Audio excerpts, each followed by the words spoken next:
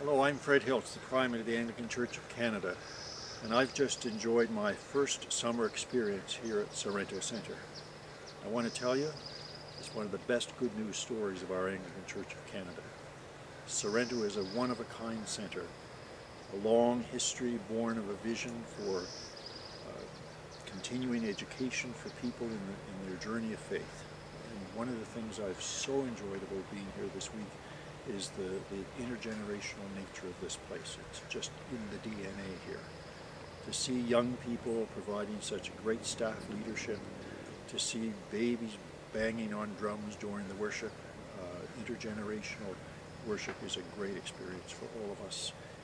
Um, and to see the variety of programs that Sorrento Center offers, not just in the summer, but now indeed through the winter months too.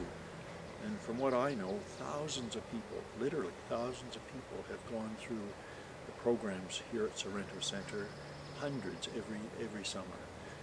Not only here right on site, but also just a, a little ways down the road at the farm. I had the privilege of visiting the farm the other day with some participants from the program I was doing.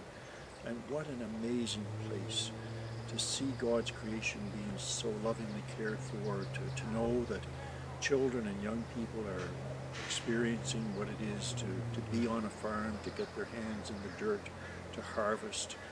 Uh, it's, it, it really helps people feel connected in wonderful ways with, with God's creation. The program that I was offering uh, this past week uh, was all around the marks of mission, which Anglicans share all over the world. And they're really quite simple. Proclaim the good news, teach the faith, help people in need, build a just world, and care for the earth.